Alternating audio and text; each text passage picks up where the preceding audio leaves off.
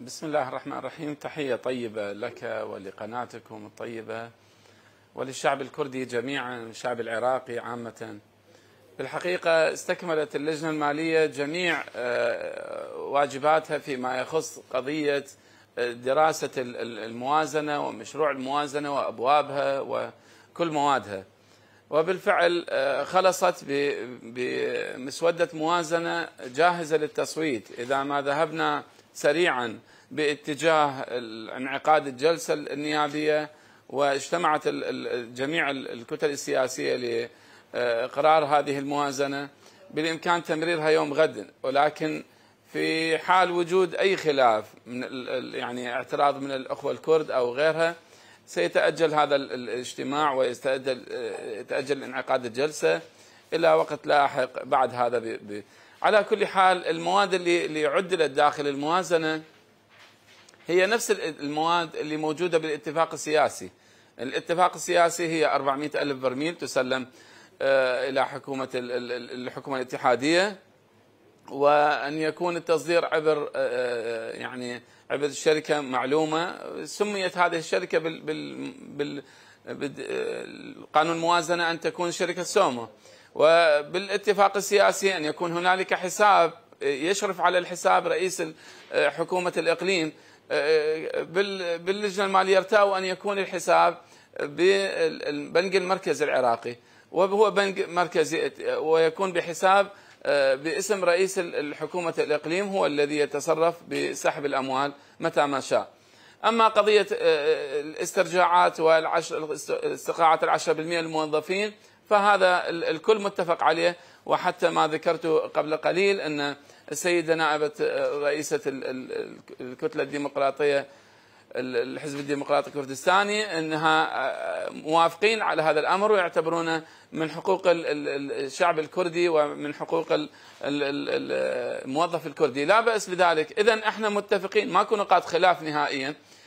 على أن تمضي الموازنة لمصلحة العراق جميعا هذه جانب وجانب آخر يعني إحنا نطالب رئيس الحكومة بتنفيذ برنامج الحكومي إذا ما ذهبنا لتشريع موازنة سيتعطل تنفيذ المشروع البرنامج الحكومي.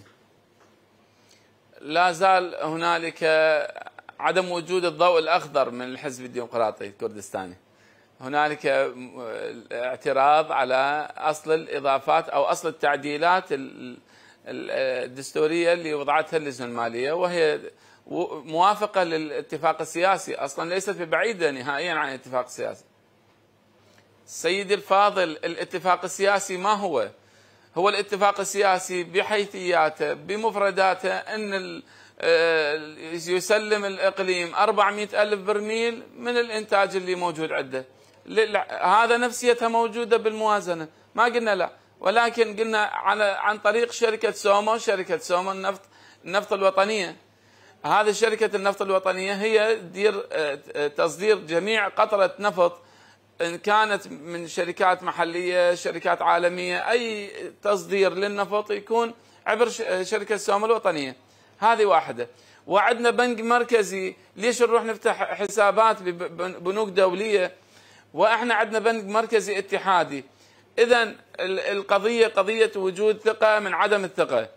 إحنا اليوم إذا نقول بلد واحد ونقول شعب واحد ومصير واحد مصير العراق واحد من دخلوا داعش ما دخلوا على كردستان وتركوا آه، آه، أربيل ودخلوا على على على الموصل.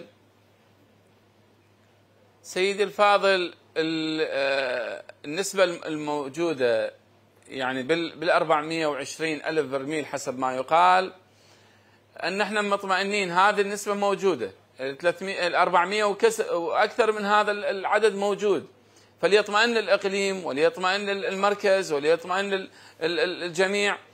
إحنا هذا ال ال ال ال ال الإنتاج المكلف الآخر اللي هو أصلا قيمة الاستخراج والإنتاج ينهك ميزانية الحكومة.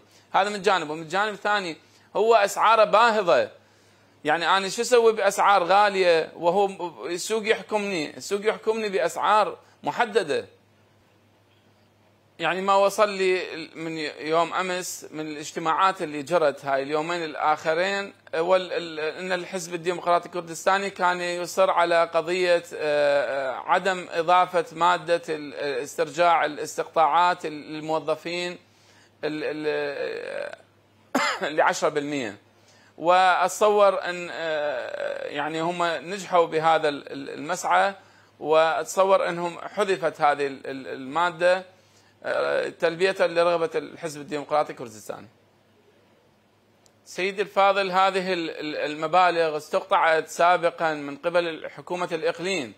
أما الإيفاءات بالالتزامات بالسنين هذه كانت موجودة. يعني كان أكو إيفاء بالتزام كامل في هذه المبالغ مبالغ الاستقطاعات وغيرها. وهذه الحكومة غير مسؤول عنها الحكومة الاتحادية. أما أصل المبالغ فهي أصل المبالغ موجودة. في إقليم كردستان. سيدي الفاضل 2014 ما كان أكو موازنة حتى للمحك... للحكومة الاتحادية. ما كان عندنا موازنة هذه واحدة. الثانية ما توقفت الحكومة نهائيا. كل الحكومات لا حكومة السيد آه، دكتور عادل عبد الدكتور حيدر العبادي ولا حكومة الكاظمي ولا حكومة أي حكومة ما توقفت عن إرسال رواتب الموظفين. تتأخر صحيح ولكن ما تتأخر عن عن ما, ما تمنع إرسالها. هذا جانب. الجانب الثاني كل الموازنات كل الموازنات اللي أقرها الحكومة الاتحادية أرسلت حصة الإقليم بالكامل وما نفذت الفقرات اللي اللي تضمن أن الإقليم يلتزم بالإيفاء بتسديد 250 ألف برميل سابقا بأيام كان الدكتور عادل عبد المهدي هو وزير النفط. وغيره من الالتزامات ما أوفت إلى هذه اللحظة ما رجعت الإقليم كردستان لا الواردات الحدودية ولا الضرائب ولا الجمارك نهائيا.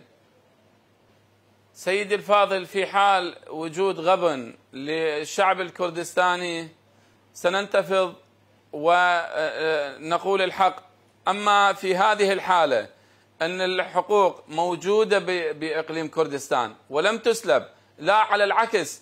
أنت إذا لاحظت هسه أن الإقليم كردستان كله 6 مليون 6 مليون نسمة 6 مليون نسمة مقابل بس محافظة البصرة. البصرة 6 مليون نسمة. وتشوف ال ال ال يعني حصة الإقليم ما يقارب ال 16 تريليون دينار. وحصة البصرة 4 تريليون دينار مع المشاريع الاستراتيجية. شوف الفارق وين. إحنا وين إذا ردنا ندافع عن عن الشعب الكردستاني لما نشوفه مظلوم. اليوم لما دافعنا عن الموظفين بكردستان نقول لهم الاستقطاعات نريد استرجاعها وهذه الاسترجاعات لصالح الموظف الكردي هذا جزء من وفائنا للقسم اللي أديناه بالدستور أن ندافع عن جميع الشعب العراقي.